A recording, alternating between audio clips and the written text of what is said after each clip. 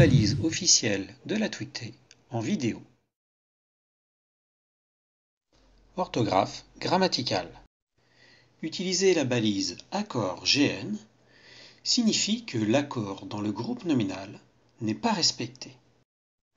Ainsi dans la phrase C'est au début de l'été que des musiques reposantes nous emporteront le long des rues.